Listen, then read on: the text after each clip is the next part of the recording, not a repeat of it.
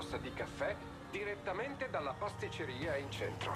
Mmm, ci voleva proprio. Scommetto che è venuta voglia anche a voi, vero?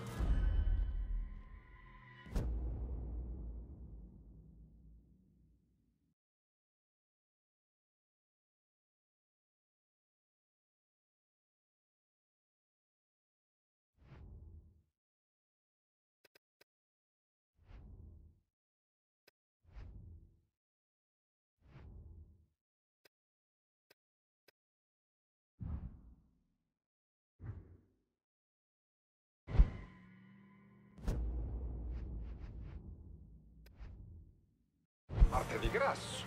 Un po' di caro vecchio divertimento in stile New Bordeaux. Scusate.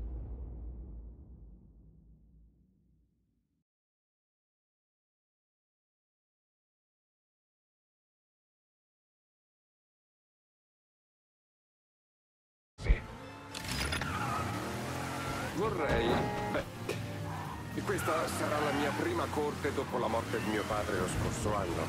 Gli ascoltatori, e sapete quanto il martedì grasso fosse importante per lui?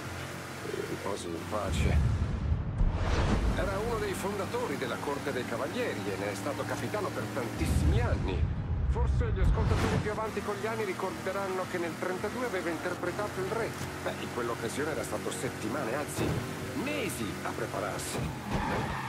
Mm. Che uomo! Quello che più apprezzava, oltre alla tradizione, era sapere di far parte di qualcosa in questa città che tanto amava. Mio padre era convinto che ogni uomo avesse un ruolo e che ogni persona contribuisse alla vita della comunità. Non come quei russi comunisti e il loro strano concetto di uguaglianza. No, signore. Ci sarà sempre un re e ogni re ha il suo giorno di gloria. Mm. Oh, ma questo caffè è una bomba. Nella prossima puntata parleremo un po' dell'indiscrezione secondo cui il presidente Johnson starebbe pensando di accordarsi con i russi per ridimensionare il nostro programma nucleare. Tutto questo e molto altro sempre qui, a Figli della Patria.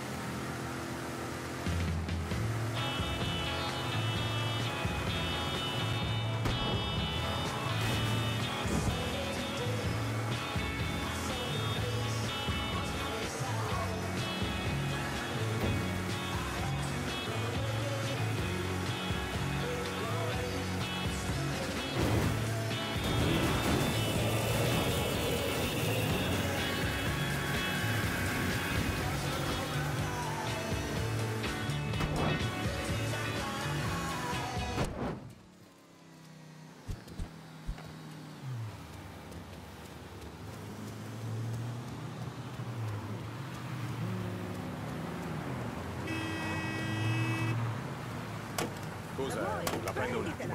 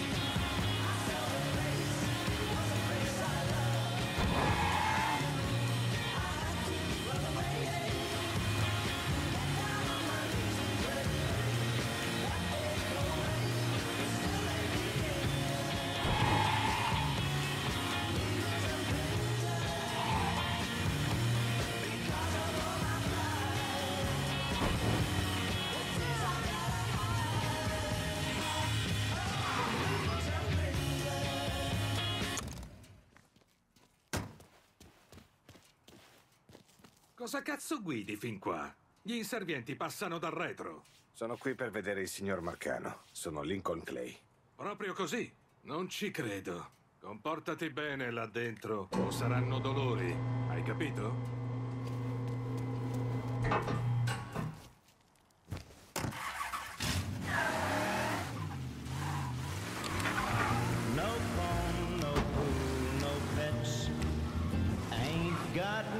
Whoa! Lincoln Clay! Cristo, ma guardati!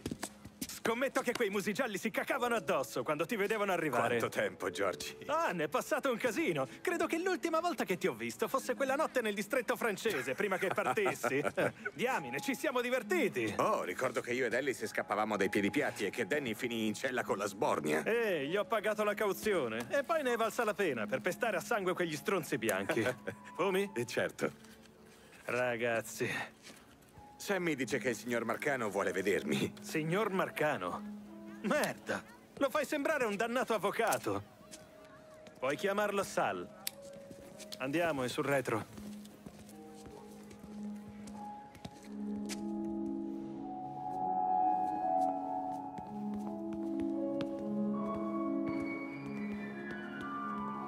Avrei dovuto vestirmi meglio. Se uno di questi sfigati ha un problema con i tuoi vestiti, possono parlarne col mio vecchio. Gli dirà di baciargli il culo. ecco a che serve avere così tanti soldi. Remy, è sempre un piacere. Olivia, mi spiace interromperti, c'è qualcuno che devo vedere. Altri due bicchieri.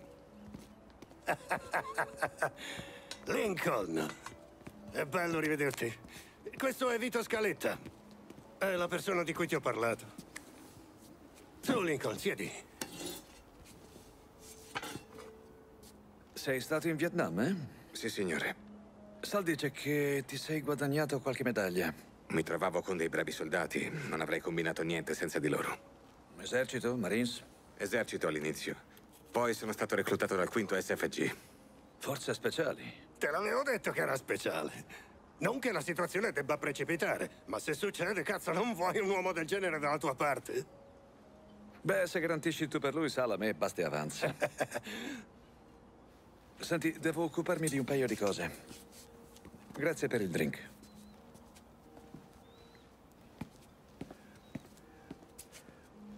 Cristo, che stronzo che è quello. Fottuto opportunista. La commissione l'ha mandato qua giù da Empire Bay circa 15 anni fa. È stato un palo nel culo da quando è arrivato. Immagino che ti stia chiedendo di cosa si tratti. Già, Sammy non mi ha detto molto. Due volte all'anno i federali tolgono dalla circolazione i vecchi soldi e li distruggono. Nel corso dei prossimi giorni quei soldi verranno consegnati alla Federal Reserve qui in città. E voi attaccherete una delle spedizioni? no, no, signore. Sfrutteremo l'occasione per accedere al loro cavò. Per poi rubare tutto quello che troviamo. Ci saranno 6-7 milioni là dentro. Facile.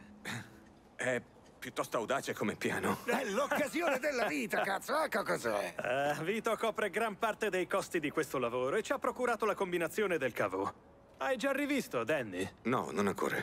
Eh, lo farai. Abbiamo tirato dentro anche lui e il suo vecchio e gli servirà il tuo aiuto. Vai a trovarli. Non hanno cambiato casa. Dobbiamo parlare anche di un'altra cosa. Immagino che tu sappia dei problemi che ha Sammy in questo periodo. Ho già pensato agli haitiani. Quando si calmeranno le acque, i soldi ricominceranno a entrare. Ecco, è questa cosa qui, è questo che mi piace. Non sei rimasto con le mani in mano. Hai visto che c'era un problema e sei andato a occupartene. Porca puttana, preferisco un atteggiamento simile ai soldi, in ogni caso. Facciamo il nostro dovere. L'abbiamo sempre fatto.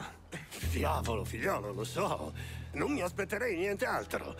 Ma sai, anche quando saremo a posto, tu ti ritroverai ancora a bighellonare nel buco del culo della città. Non mi sembra un grande futuro. Ma forse c'è un altro modo per crescere, mi spiego? Per tutti noi. Che cosa hai in mente?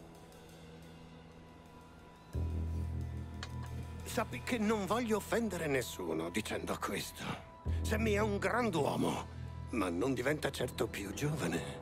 E sto pensando che sia il momento di cambiare. Mm, Ah, non credo che Ellis sia pronto Non per sto questo parlando tipo di di... Ellis. Sto parlando di te. Voglio che sia tu a gestire Lollo. Non posso farlo. Ehi, ascolta, se ti preoccupi per Sammy, non devi farlo, capisci? È sempre stato in buona fede con me e col lavoro di cui stiamo parlando ricaverà abbastanza da poter andare in pensione. Mi ha accolto quando non avevo un posto dove andare. Mi ha trattato come un figlio. Mi scusi, signor Marcano, ma non posso fargli questo. Merda, figliolo. Mentirei se ti dicessi che non sono deluso neanche un po'. Ma ti capisco. Sei leale. Che è una cosa molto rara di questi tempi. Volete ancora che vi aiuti quella faccenda di cui parlavamo? Ah, certo che sì, cazzo! e alla fine di tutto quanto sarete tutti più che in pari con me, alla mia parola. Che cosa volete sentire? Che rapivamo e torturavamo chiunque fosse sospettato di lavorare con i Viet Cong? Sto cercando di appurare il livello di addestramento che Lincoln Clay ricevette durante la sua permanenza in Vietnam. Non c'è bisogno di addestrare uno del genere, lo punti nella direzione giusta e poi ti levi dalle palle.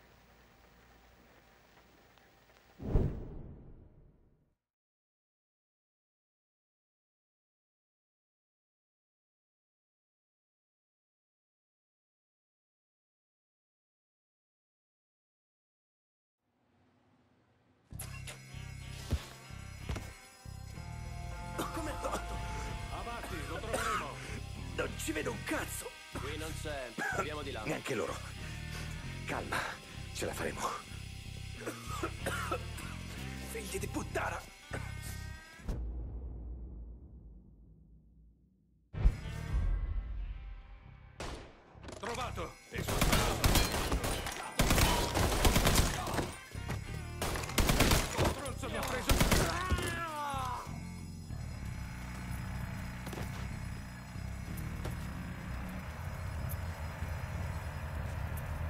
Danny ed Ellis ce l'hanno fatta col trapano!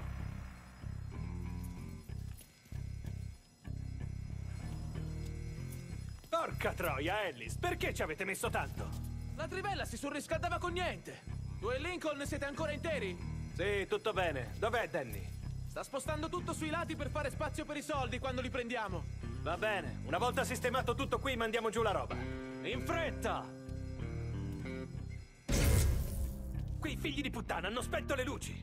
Tu preoccupati dei soldi, qui ci penso io.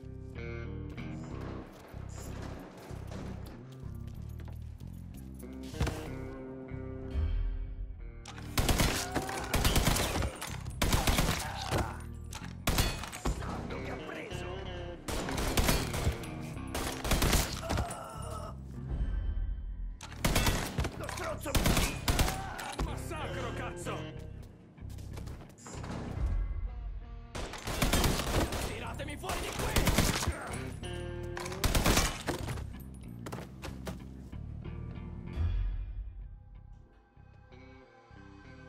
Saremo ricchi, Lincoln! Ricchi! Stanno cercando di tirarci fuori. Concentrati su quello che stai facendo.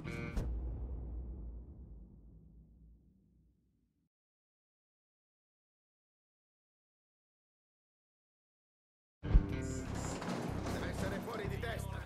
Sei morto. Non sono quelle guardie che dicono di essere... Ti faccio il culo! Ammazzare qualcuno!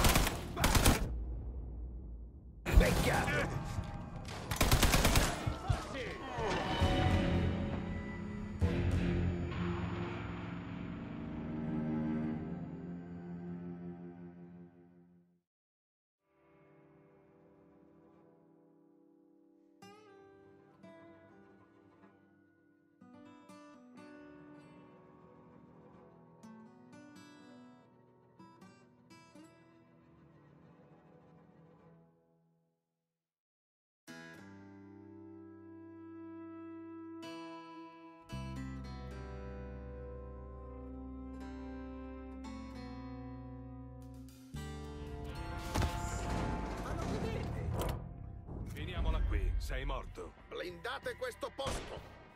In copertura! È un massacro, cazzo! Ah, volete darmi? È un massacro, cazzo! Ha ucciso un altro agente.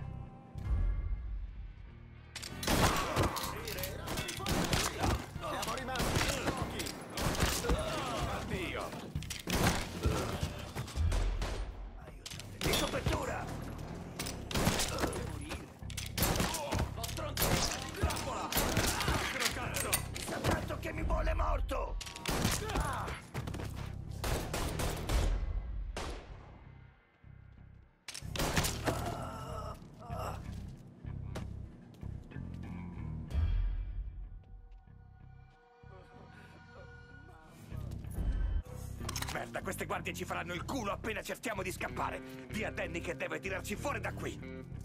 Quei bastardi ci hanno bloccati! Dobbiamo fare qualcosa! Ho della dinamite! Posso metterla da questa parte dell'apertura e farla saltare! E a che cazzo ci serve? Con un po' di fortuna il buco diventerà abbastanza grande da farvi passare! Un po' di fortuna? Almeno sai che cazzo stai per fare! È dinamite, quanto può essere difficile! Accesa! State lontani dal buco, cazzo!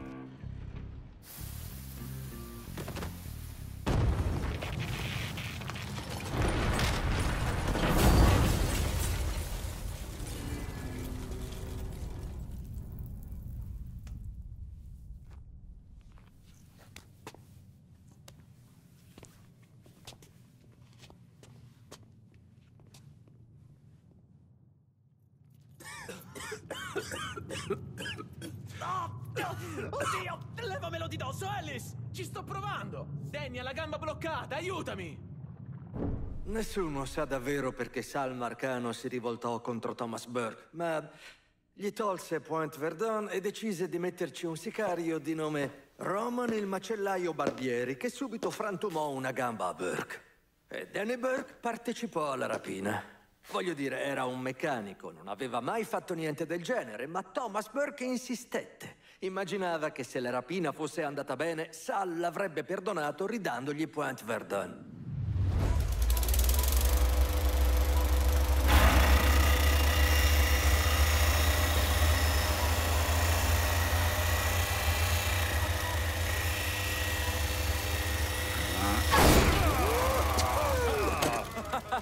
Sapevo che me la sarei fatta. Ehi!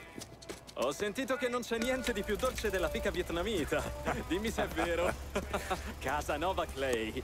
Cazzo, amico, è un vero piacere rivederti. Anche per me, Danny. E Nicky? Ah, voleva esserci anche lei, ma beh, conosci. Maledetta carcazza di merda! Già, purtroppo. Dai, facciamoci una birra. Aspettiamo che il vecchio si calmi, poi ci daremo da fare. Come va, amico? Sì, è già tutto pronto e organizzato. Ci saranno tutte le ragazze e via dicendo. Solo che dovremo usare la mia auto perché non possiamo presentarci con quel catorcio là fuori. Uh, hai appena dato della carriola al mio gioiello americano. Solo che ci sono macchine migliori in giro. Stronzate, la sua auto è una bestia. Ci ho messo un 358 truccato prima che partisse. Non è l'unica cosa che ci hai messo. Forse dovresti raccontargli che te la facevi prestare da Ellis e ci portavi le ragazze a fare un giro. Ehi, e io che c'entro? Hai scopato nella mia macchina. Ehi, non ti scaldare, ero sempre ben protetto. C'è già un bastardo nella mia vita, non me ne serve un altro. Sai che ti dico, la devi pulire e non solo il sedile posteriore, ogni centimetro quadrato. Non ho voglia di andare in giro nella tua roba. Ehi, e tu bello gli darai una mano, ok? Col cavolo, io mica scopavo. E qual è la novità?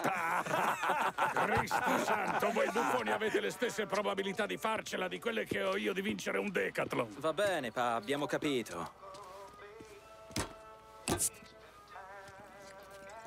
Danny Ellis, voi userete il trapano per fare un buco sul fondo del cavò.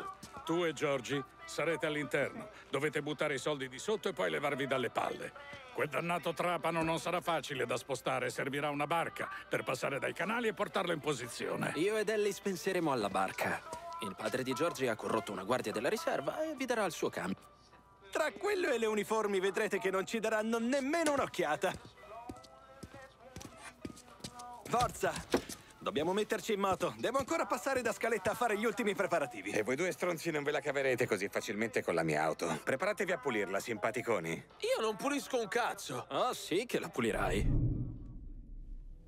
Mio padre era molte cose e ben poche erano buone. Ma aveva cominciato contrabbandando alcol, così sapeva dei canali sotto la città e che uno di essi passava direttamente sotto la Federal Reserve. Fu sua l'idea di usare una barca per portare il trapano in posizione. Era un vero figlio di puttana, mio padre. Più di chiunque altro incolpò lui per ciò che è successo. Se vuoi rischiare la pelle, bene, ma lascia fuori tuo figlio. È colpa sua se Danny è morto.